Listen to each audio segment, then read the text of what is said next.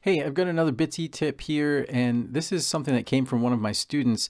Uh, they asked, how can you have it so that you have to collect a bunch of items before a door will unlock? It actually seems like a pretty common thing that you might want to do, and it's not obvious at all how you would make it happen. So I wanted to show that here. If in my case, uh, I've made a demo here where I have to collect a potato and a bucket and a potato peeler if I want that door to unlock. Collecting one or two of them won't do it. So the way I can do it is uh, click on edit down here and then exits and endings. And I'll click this little arrow to open the actual dialog to get more detail about the exits and endings. And then I'll click the little settings button here. And you can see I can add a lock. So this is kind of a shortcut.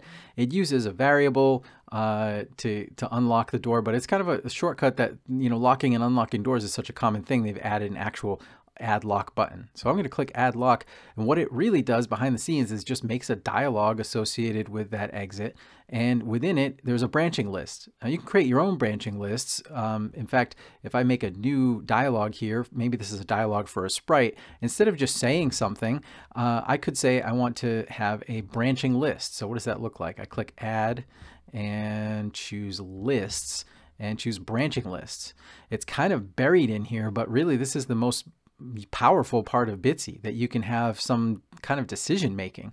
And this is something that's in every programming language, an if then else statement. So the way it works is if the thing that's white here evaluates to true, then it'll do what's here. Otherwise, it'll do what's here.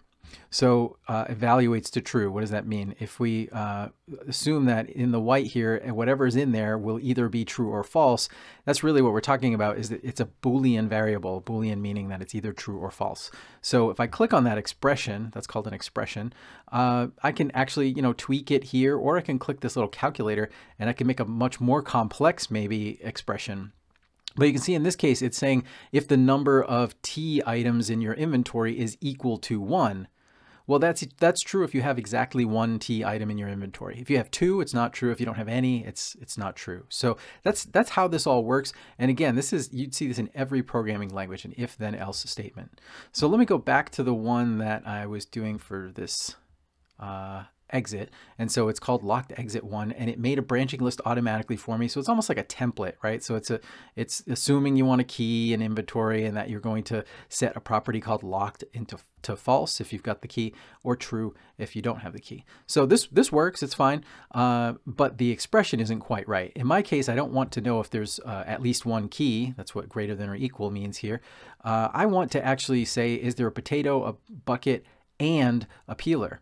So it's a little complicated to do in here, even if you click on that edit expression button. So I'm going to choose show code and it's a lot simpler to see in my opinion. It says item one, Item one is happens to be the key, and uh, if I wasn't sure what the item numbers were, I could go into the game data and just scroll down to items. You can see item zero here is T, item one is the key.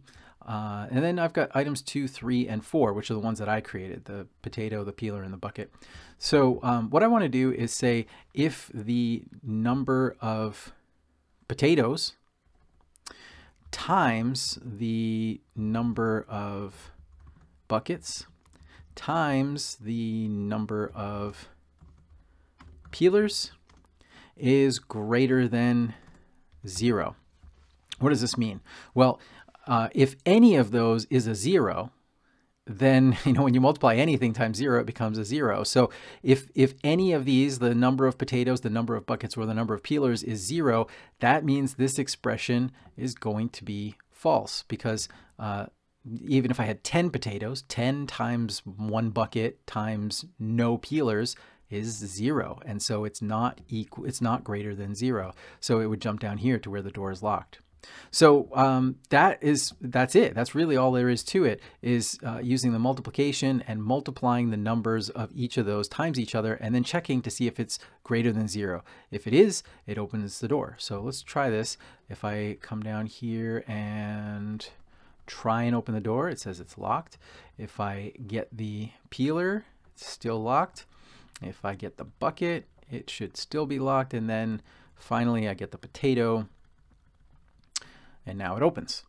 So um, let's look at one more case where I want to get any of these items. So not all of these items, but any of them.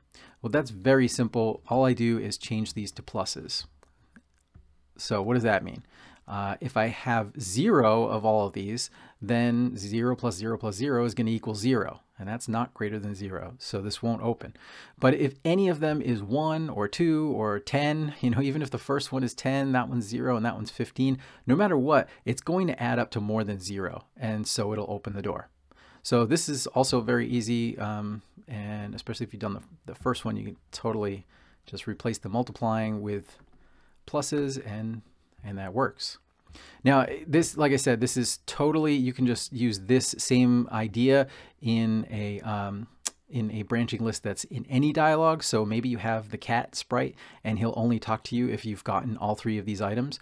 Well, just make a dialog for it. Instead of having it say, I'm a cat, have it you do a branching list and then set up that same thing that we just did. So hopefully that helps and hopefully it helps you kind of get an idea of how things work in other programming languages. This is a nice introdu introduction to coding really because that if then else statement shows up in any other programming language that you'd approach. Good luck.